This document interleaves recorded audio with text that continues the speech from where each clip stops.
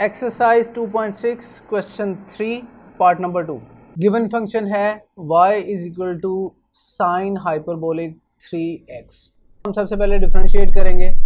D y by d x both side का ले लेंगे। लेफ़्ट साइड बन जाएगी d by d x of y right side बन जाएगी d by d x of sine hyperbolic three x अब आपको फार्मूलाज याद होने चाहिए। साइन हाइपरबोलिक एक्स का डेरिवेटिव होता है कॉज हाइपरबोलिक एक्स और साथ हम एक्स का डेरिवेटिव मल्टीप्लाई करते हैं। तो इस केस में क्या होगा? चूँकि एंगल एक्स की बजाय थ्री एक्स है तो हमारा डेरिवेटिव आएगा cos hyperbolic three x into d by d x of three x अब d by d x of three x का आंसर आएगा थ्री वो मल्टीप्लाई हो जाएगा तो हमें, हमारा डेरिवेटिव बन जाएगा d y by d x is equal to three cos hyperbolic three x and ये हमारा आंसर है।